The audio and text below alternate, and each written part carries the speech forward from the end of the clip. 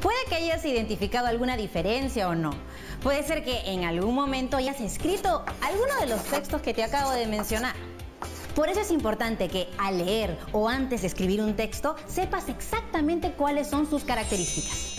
Pregúntate qué propósito tiene. Así vas a poder reconocer con mayor facilidad el tema, la intención del autor, el mensaje o información que se quiere transmitir. Y si quieres escribir, tengas claridad de cómo hacerlo. Perfecto, ahora sí, antes de empezar quiero hacerte una pregunta. ¿Cómo identificamos a los distintos tipos de texto?